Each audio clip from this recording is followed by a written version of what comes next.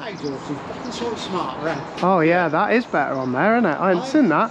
You've got it all in here instead. That's 100 times better, isn't it? Yeah. It's nicer with the tin as well, rather than the plastic on that 8S. It's plastic, isn't it? It looks Smarter with that. The batteries are back under the steps again on Peggy, look, yeah, yeah. Yeah. That's, uh, that's a better option, isn't it? It's another day. Get that open. The- We love these old doors. These old doors were the best doors Manitou made. I don't know why. It's just nice being able to, you know, a day like today where it's not uh, not so hot and uh, you don't need the aircon. It's just nice to have it open. Me and Keithy, I think Cole's here as well. Cole's uh, Cole's started to uh, pick up some of his silage. He, uh, that field did all right actually. That one did. Um, 175 the first time and then it did 138 second time whereas our one which is this one here. Cole needed a bit more silage so Cole's gonna have that one. We uh, we silaged this one in the end. It rained on it. It rained on it yesterday and um, yeah we just thought sod it. It's, go- it, it knocks the quality down and uh, it might as well go silage we needed a bit more silage anyway so that's what it went as. We only had, what did we have out there? 204. So we're, we're 100 bales down off first cut, but still, still a fair crop out there. It's still going to be some picking up to do. We had 308 the first time. Uh, so yeah, me and Keithy are at it. It's um, it's a bit of a dull, gloomy day. Showers about. Uh, we still got hay down. That's going to be some cow hay now. We'll uh, we'll get that dry. It's going to be better in the next few days. So we'll go over there, round bale that up. It's tricky. The forecast isn't brilliant. You got a couple more good days and then more showers. So we're holding off with the mowers for a little bit. We're going to wait for something a bit more settled before we start mowing. It's a bit tricky because we're only halfway there. And within three or four weeks, the combine will be out and they uh, will be starting to combine the crops. We've been out haymaking in September before. It's not. It's not really an issue for us. It's just going to be an issue for um, having staff to do combining and haymaking at the same time. That's where it comes a bit tricky, but either way, we'll we'll get it done one way or the other. You know, if we have to only run one baler to do the rest of the haymaking, that's what we'll do. Um, we'll uh, we'll get round it either way. Ideally, we'd like to crack on with the haymaking now if we could. We've got a load of nice, nice hay in the shed, uh, so we've had a good start. The fields that we got down now, they're only going to be cow hay now, so we'll round bale those up. They'll probably get put in a stack outside. We seen it last year. We put a stack of hay out there last year. That went. It was December before we were using it, and it's still green as the day you made it when you uh, start giving it the cows, and they love it. So uh, that's what we're going to do with that. Bit of a shame because there's nice crop out there, you know, good amount, but never mind. We're going to get these silage picked up. If this showery weather continues, it's the time to uh, do grain stores and indoor jobs and, you know, jobs you don't want to do when it's really hot. So that's what we'll be doing. It's never nothing to do.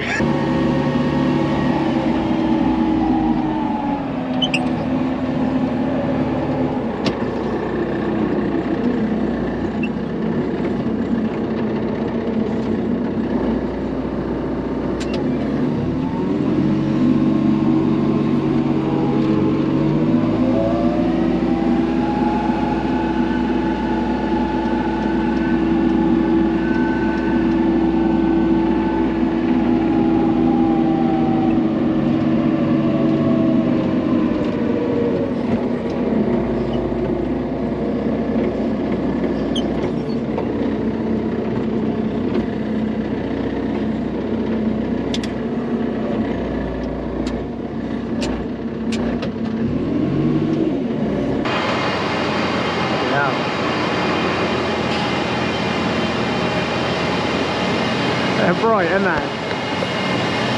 I'll see you coming now, Keithy boy. They are bright. They make your eyes hurt. Yeah, he's done the tedder.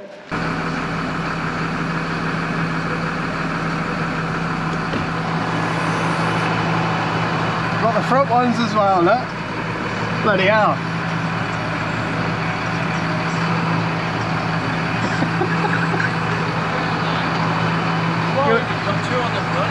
Yeah, I know. It's to look a bit overkill. We bought a load of these um, LED lights. I'll show you. They uh, they make a difference on the road. You would have probably heard me talking about them before. So we've been sticking them. We haven't done this tractor. I don't know why we're not. I don't know if we're going to do that one. But uh, anything that sticks out in the road or is slightly a little bit dodgy on the road, we've been putting lights on them. You have a look. And they're, they're, they're ultra bright. So you, you drive this rate down the road, you get it on the main road. Christ, people just, I don't know if they don't see you or don't think, but with them lights on, it sort of blasts them in the face. So they have to, they have to see it. It just slows them up, keeps everybody safe, prevents having an accident. So the tractors have got them on, and, and they make a difference. So we, uh, for 20 quid, they're 20 quid a unit. So one unit is 20 quid. But it might be the difference of having an accident and not. Anyway, we got a puncture on one of the tractors, so we got two two newish tyres on the same ones. So we're going to put basically we're going to put the new set of tyres on one tractor and the old set on the old tractor. Uh, pointless having one good tyre on each tractor, so that's what we're up to.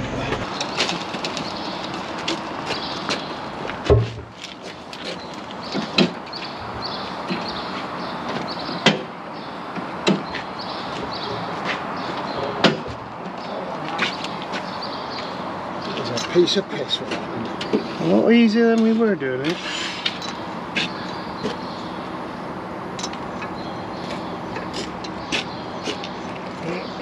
That little feature there, just to be able Yeah, to turn, turn it, I it. don't know if Yeah. it make a bloody difference. Do they not all have that? No. No, you just roll them on the rollers, you know, you just catch Got all the do it rollers. manually, like. but that's a bloody simplest little Yeah. design, that's... Uh, it works a bloody treat. Well, it saves your threads as well, doesn't it? That's the main of it. Yeah, definitely. Yeah, you haven't put.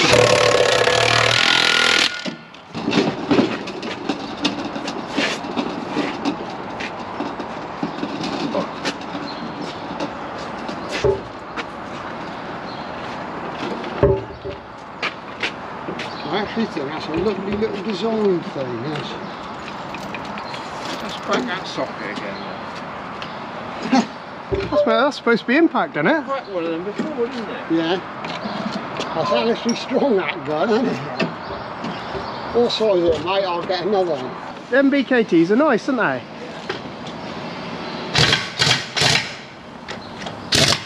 Comes come out, mate. Yeah. Where's my bar?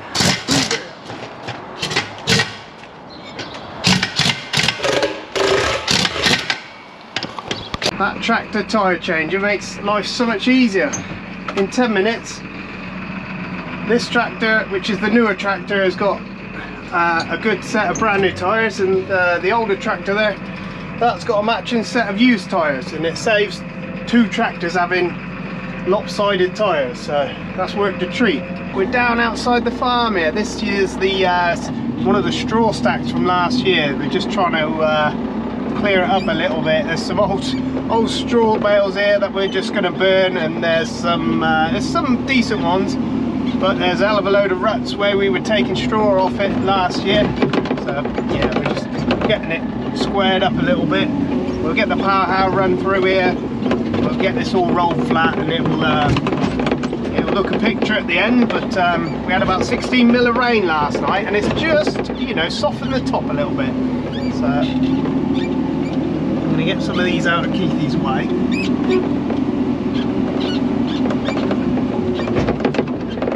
The good ones we'll keep and stick up the side of the uh, straw stacks, and then anything with a burst, a burst net on it, we'll get we'll get um, burnt. Right.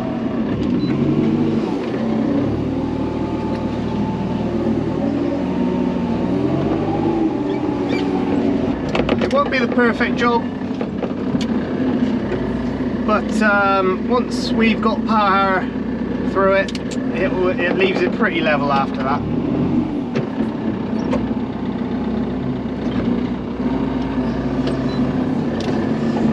And when we start bringing straw in for next year, these will sit up the side. They get used in the outside clamp for the uh, cows, so none of it gets wasted. As long as it's got a net round it, we can use it.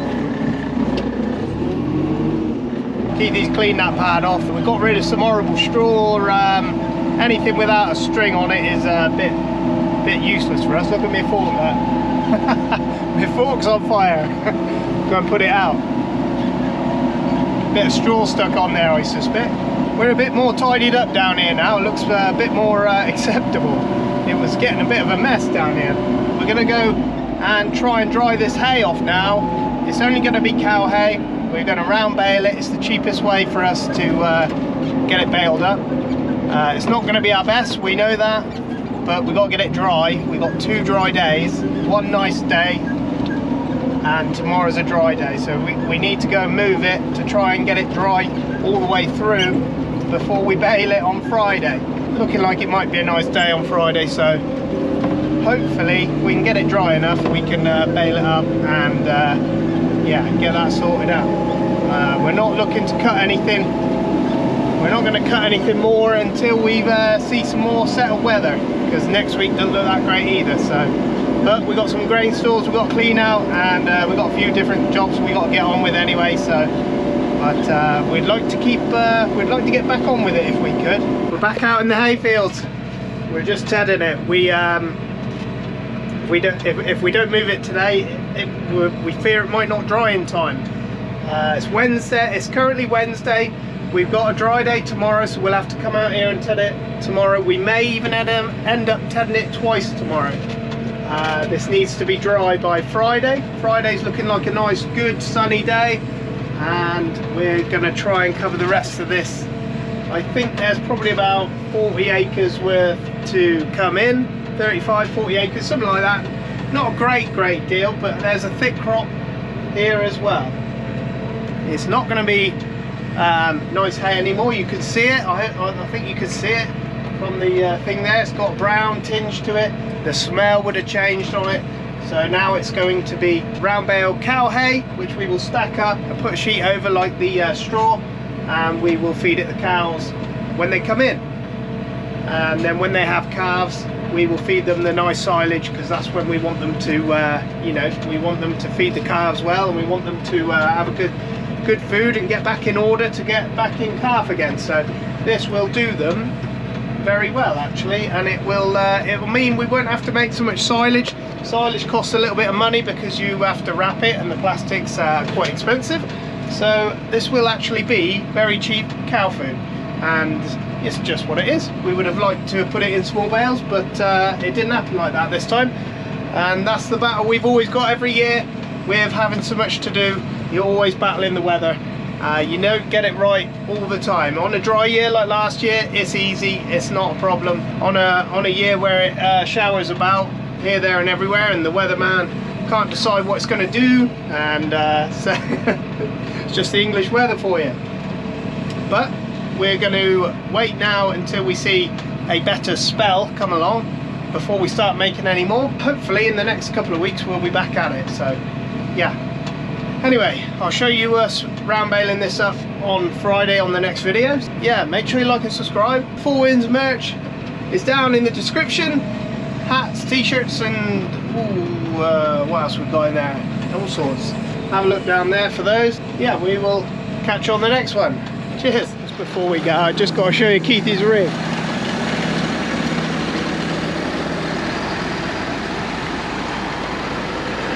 That looks mental, doesn't it?